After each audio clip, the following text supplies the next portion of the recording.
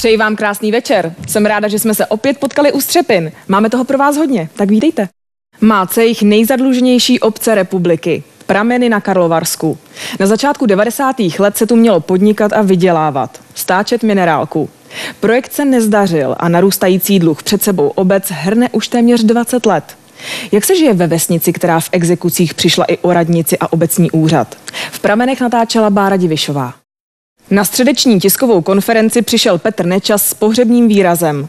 Z původní ministerské armády, se kterou před dvěma a půl lety napochodoval do Strakovy akademie, mu toho už moc nezbylo.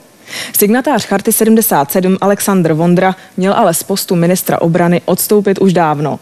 Teď odchází podle premiéra nejkompetentnější minister obrany za posledních 20 let s nálepkou dalšího politického papaláše bez důvěry veřejnosti.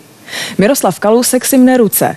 Rezort je opět volný a Bůh ví, jaký odborník do něj bude dosazen. Víc v reportáži. Dalo by se to nazvat vrcholem ženské naivity. Možná se vám to dámy na jedné z cizokrajných dovolených stalo také. Opálený domorodec se od vás na pláži nehne, šeptá milostné fráze a od okamžiku, co vás spatřil, si vás chce vzít. Většině z nás je to příjemné, ale neskočíme na to. Michal Kratochvíl ale našel jednu ze stovek žen, které uvěřili. A stálo je to nejen zlomené srdce, ale také dost peněz. Už dlouhých šest let a sedm měsíců je nekorunovaný král českého komiksu Kája Saudek v komatu. V nevědomém stavu, který je i dnes pro lékaře velkou neznámou.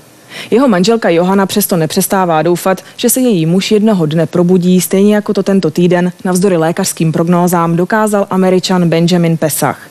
Reporterka Michaela Šmídová ale našla případy s nečekaným happy endem i v Česku. Bývalý ředitel městské policie Vladimír Kotrouš si řekl o úplatek a dostal nepravomocně 6 let na tvrdo. Rozplakal se. I tak je ale naším padouchem týdne.